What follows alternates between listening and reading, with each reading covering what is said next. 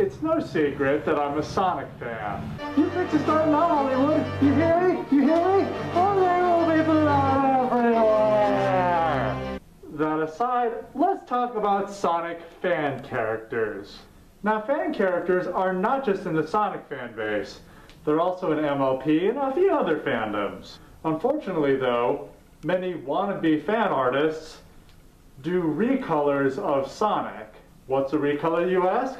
Well, a recolor is taking art and changing its color. Usually they may make the excuse that it's a imperfect clone in Dr. Eggman's workshop. Regardless, it's still stealing artwork, and even if it wasn't, it still isn't that creative and is pretty lazy.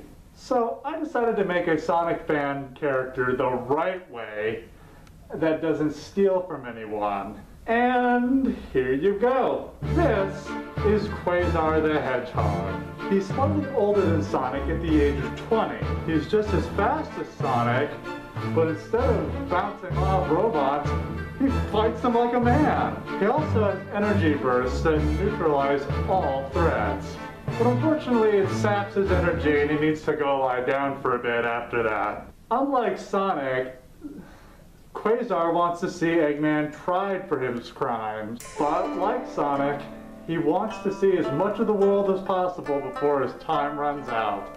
Now granted, I am a Sonic fan, but I'm not a die-hard Sonic fan, so excuse me if I get some things wrong here. But still, I at least think this is much more interesting than a purple Sonic imperfectly cloned by Dr. Eggman.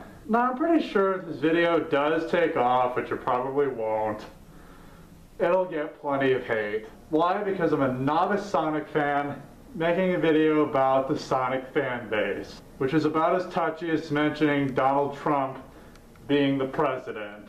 That seems to be a problem with video games nowadays. But that's a video for another time. Well, that concludes this video. I'm YJ Wolf. And this message will self-destruct.